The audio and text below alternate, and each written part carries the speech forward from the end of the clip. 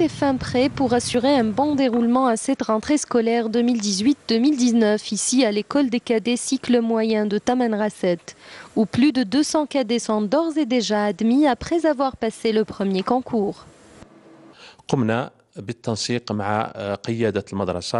Nous coordonnons avec le commandement de l'école afin de mettre en place tous les mécanismes permettant une meilleure rentrée scolaire. Nous remercions à cet effet le haut commandement de l'armée nationale populaire, à sa tête le général de corps d'armée sur les moyens mis à notre disposition.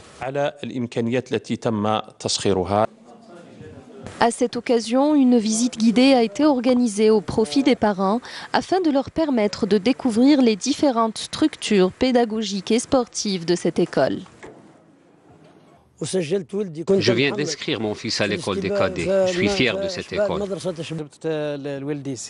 Je suis venu avec mon fils ici. Nous avons été bien accueillis. Je suis surpris par le niveau pédagogique atteint par cette école. Je serai un bon élève car je veux devenir pilote dans l'armée de l'air algérienne.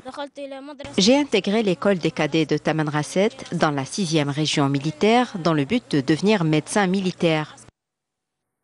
L'école des cadets de Tamanrasset garantit un enseignement de haut niveau et dispose de toutes les commodités et moyens matériels pédagogiques modernes.